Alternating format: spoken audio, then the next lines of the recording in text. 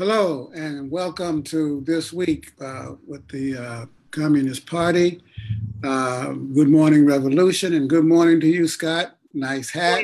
How's it going? Thank you. Going quite well. Um, like that shirt, very uh, Cuban looking. All you need is a mojito. Uh, if only. Uh, you know, maybe at some point we can integrate cocktails into into this week, but I think we'll get in a lot of trouble if we try to uh, uh, do that. This is an abstinence dry. Hope it's not too dry. in the, you know, uh, in that sense of the uh, word. Well, first, everybody who's watching, please click on the button, start a watch party, share the wealth with your friends. Um, we want to involve everybody in the uh, conversation. Uh, Scott, this week has been a tough, tough week uh, with the um, mass assassinations, the killings in El Paso and, uh, and in Dayton. Uh, El Paso, uh, racially motivated, Latinos were killed uh, without discrimination, indiscriminately, gunned down uh, by a mad, crazed, fascist minded fellow. Um, and uh, then there were the killings in uh, Dayton. Um, and they say that this guy was a left winger, but I don't believe a left wing guy or woman could commit uh, atrocities like that. There must have been something wrong in his thinking. He must have been. Certainly, no one that, that you know, shares what we consider the basic commitment of, of the left, which is um, democracy and, and the collective action and empowerment of the, the working class and the people would would pursue an action like that. That's in other words, a better life. We want a better life for people, not to kill people. You know, I'm opposed to capital punishment even. I mean, you know, absolutely. Socialism or capitalism. Uh, when's it going to end? What's going to, what do we got to do? How far does it got to go before some action. You know, in Ohio, when the governor came to date, uh, uh, Dayton, and the people said, "Do something, do something, do something." What is to be done? I mean, you know, well, that's. I mean, that's, the, the the lesson of history. It doesn't stop until you know until the people stop it. It's not like you know the the the extreme right, these these fascist minded and, and militaristic and, and ultra nationalist um, forces are going to just you know give up and disband when they reach a certain point. Um, it, they have to be stopped, and that's that's been something that the the Communist Party USA has been saying very consistently for a long time. Is you know it falls to the people to stop the extreme right. Now, but how do we do that? That's the but the people have expressed in their majority, I think 90%, for example, that we, we, we want background checks, some form of, of gun uh, control, I guess you'd call it. But the NRA is so powerful and the corporations that produce these weapons that it goes in one ear and out the other. So um, this endless series of, of deflections. You know, um, the last time around, I think it was uh, it was bad parenting. Right, parents need to, you know, be firmer with their kids or teach their kids better. And now it's uh, violent video games and movies. Um, you know, everything to avoid addressing the real question is, you know, which is how do these um, dangerous criminal terrorists with histories very public histories of making, you know, white supremacist threats of violence keep ending up with with assault rifles. Well, you know, I think that that's true, and the uh, problem though is deeper because I think that we have we're dealing with late stage capitalism, you know, that is in crisis, and um, and it is, and that crisis has produced a culture of uh, violence, you know, and uh, and it's organized, you know. It's this this stuff isn't happening. And, you know, I would I would maybe put a finer point on that and say, you know, like yes, capitalism, late stage capitalism produces this culture of violence, but in particular, the capitalist class, which actively encourages and profits from, as you said, the, the sale of weapons, um, but also the, the all sorts of, of appeals to violence and especially appeals to, you know, I was thinking about this violent video game thing. And I'm not sure it's actually the violence that's that's problematic. Many video games certainly are extremely violent. They glorify, you know, guns, whatever. But I think the deeper problem is the the kind of individual individualism of them, right? Mm. This they, they peddle this kind of fiction that the solution to every problem is a very heavily armed individual, right? That you know, if you have a big enough gun and you're good enough at shooting it, then you can you can solve all the problems, which is a really really dangerous, uh, extremely capitalist way of thinking. I would I would say so. Um, so public sentiment is one thing, but that public sentiment doesn't translate into defeating the advocates of the gun lobby in the House of Representatives, in the Senate, uh, and in the White House. Now, um, so something's amiss somewhere, and um, and there is, uh, on the one hand, this public sentiment, uh, but on the other hand, there is this strong belief that you know in the Second Amendment, um, and um, uh, belief that we share. We, we communists do not oppose the Second Amendment. We don't oppose gun ownership. I uh, grew up around guns in a family of hunters. Um, so did I.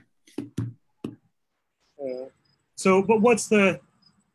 So uh, you you you published an article recently um, on the the notion of community self defense, um, and is that the solution to racist terror?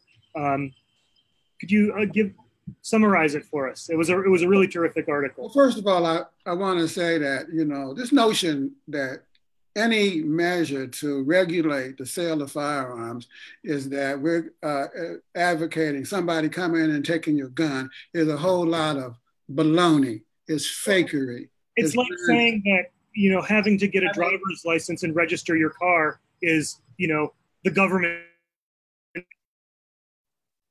coming.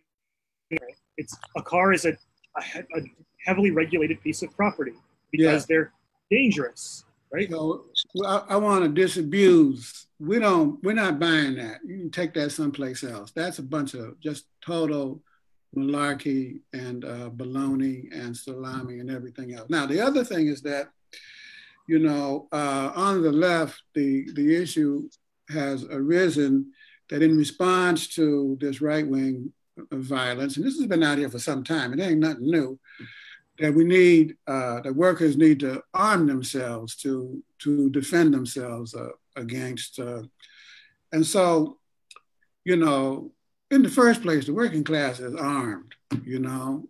I know where I come from, you know, everybody's got a Roscoe, you know, everybody's, you know, packing in the home or whatever, you know. So that's let's set that aside for a moment. The issue, though, is what is the best way to defeat right wing extremism, you know?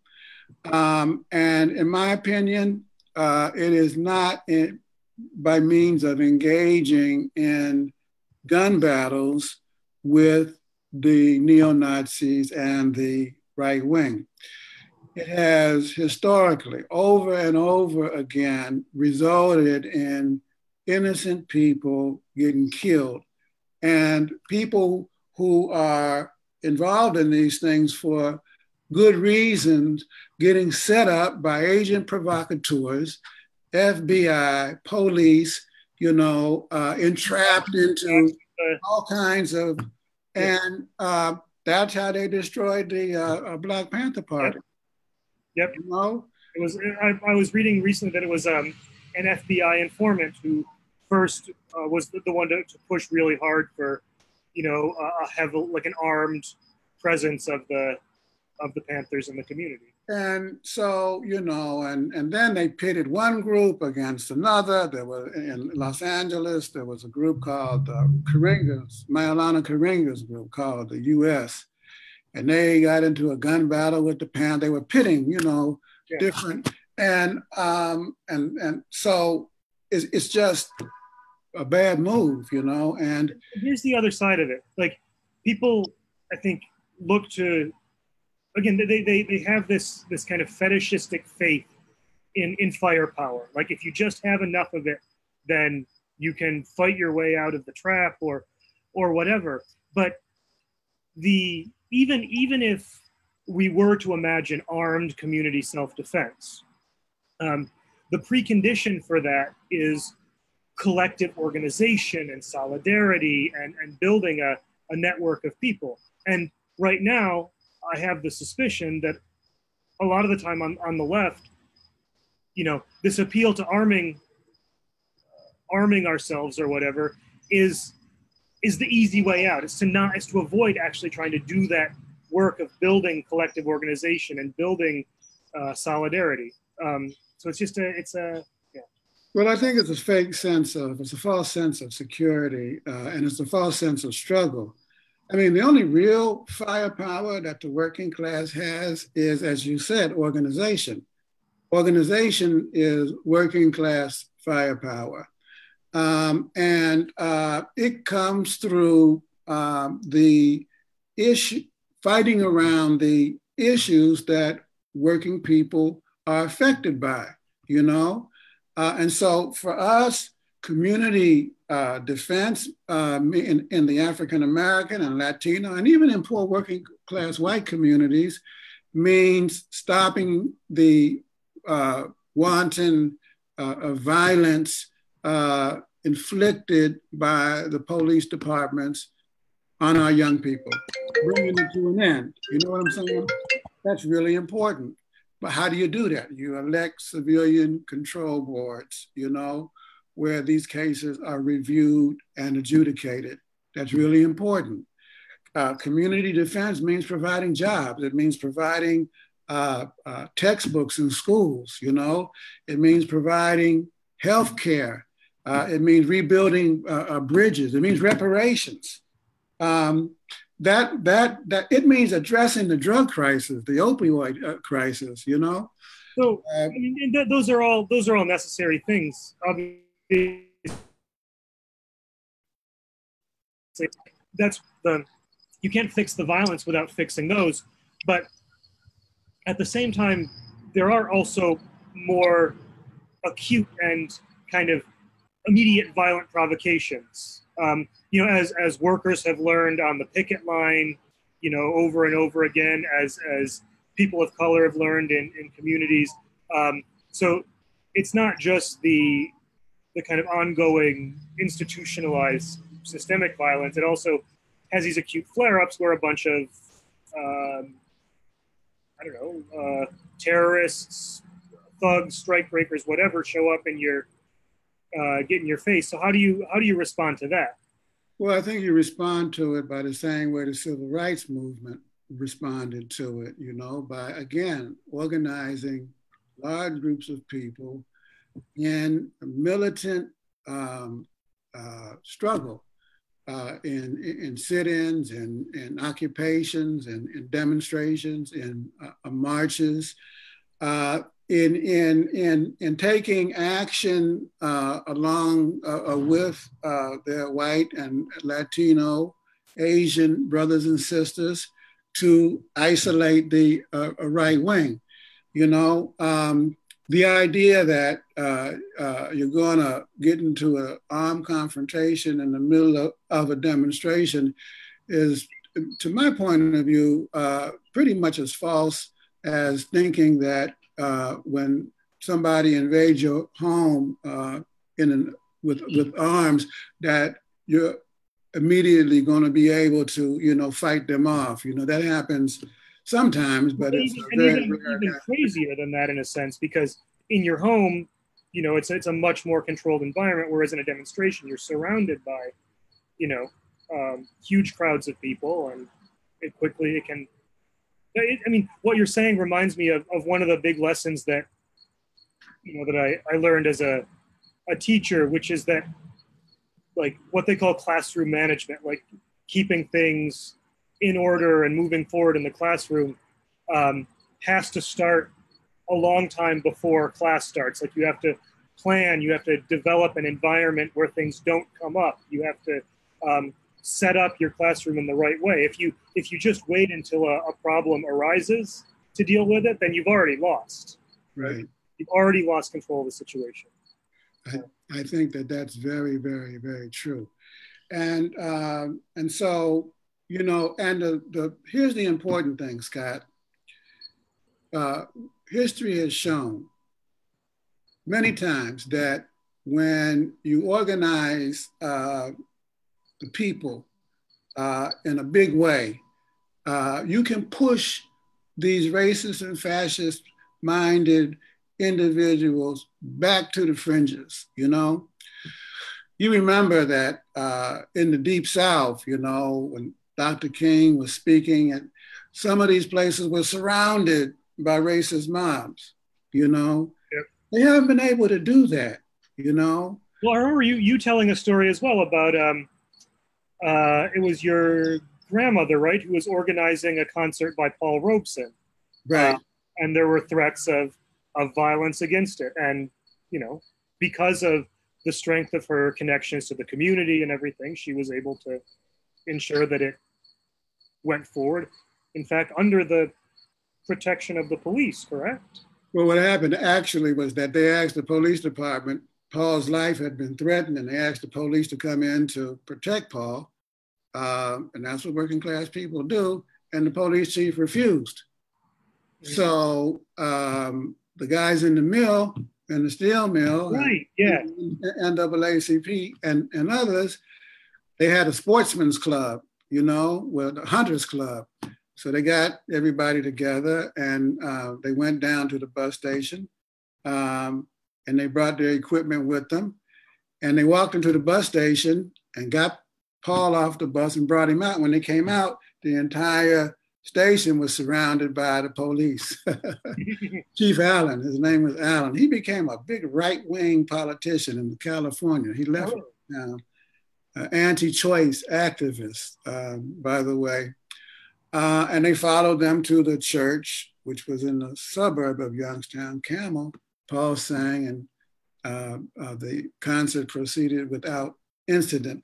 And that's what I mean when I say in my article that workers will decide on the spot you know, how to handle these kinds of situations. They're, they're experienced people, they know the stakes and, uh, and, and so on. But they have also uh, uh, proven time, time and again it is really, really important not to respond in kind to provocations. You know, you need yeah. to find out what's happening and you respond accordingly in a smart. Uh, and that was way. that's the point that Engels made in uh, 1895, I think. He talked about, he was um, reflecting on Marx's writings on the Paris Commune and uh, the events of 1848, and, and saying that, you know, this idea of revol- the primary form of revolution being a war on the barricades in the streets is no longer accurate. Um, uh, partially because um, in, in, in Paris in particular, the, the ruling class had re, rebuilt the city so that the streets were no longer narrow and favorable to kind of guerrilla tactics. They were these huge, wide open avenues where you could, the military could station cannons and everything. Engels' broader point was um, that right now the ruling class is trying to trap workers into a situation where they will be slaughtered. Um, and here's the main thing the bigger the movement, the broader the movement, the more ties it has. Uh, when you build a labor community alliance around a strike, you know, or you, uh, if you build a African American Latino labor alliance uh, around the fight against police violence, the bigger it is, the broader it is, the deeper it is, the more people who are involved, less likely it is that the because you know these fascist minded people they're cowards they, they really are they're cowards you know And so they're not going to step to uh, a situation where, you know, you have that kind of working class and, and community of power. They're going to back up. You know that funny church movement out Westboro there? Westboro Baptist, yeah. Huh? The Westboro Baptist, the uh, yeah. anti-gay, yeah. And you know how the, the motorcycle gangs responded to them, yeah. surrounding the. And even even a lot of, of, of very very conservative right wingers on the grounds of, of you know honoring the memory of veterans mobilized against the. We're not having that kind of foolishness, you know, and so that's where real security and safety and militants uh, finds itself, and that's what we stand stand for brothers and sisters, comrades, you've been watching this week with the uh, Communist Party. We got a big struggle ahead. And it is, you know, central to defeating these kinds of provocations is defeating the extreme right in the uh, elections. It's not going to happen without it. It won't end it completely, but it can push it back. Uh, and that has to be accompanied by bringing all of the measures to, to bear to drive these forces out of the corporations, out of the police departments, out of the securities, because that's where they're, you know, getting their. And, and, as we do this, it's, it's important to remember that that um, the sort of the way an organization is is set up and works is related to the kind of people who are in it. So when you're driving out these fascist minded and, and right wing forces, um, you're also changing the way organizations operate, um, or at least yeah. stage uh, to do so. It's not just, you know, let's get the bad apples out. It, getting the bad apples out changes, you know, the whole batch and what kind of barrel it's in. And how do you do that with unity? Unity trumps the haters. You know, it always did and it always will. Thanks for uh, uh, watching uh, this week. We'll be back uh, next Friday. Please check us uh, out our website at uh, cpusa.org. we got a number of, we got a new Marxist IQ out on the science of society. We got a new um, edition of our international notes. elections are coming up in Portugal and the Communist Party of Portugal is very involved uh, uh, in that. Uh, and so um, uh, let us know what you think, you know, talk to us. We'll get back with you. Scott. Have a good weekend, Joe. Take care. Say hi to that beautiful daughter of yours. Will do. All right. Talk to you later.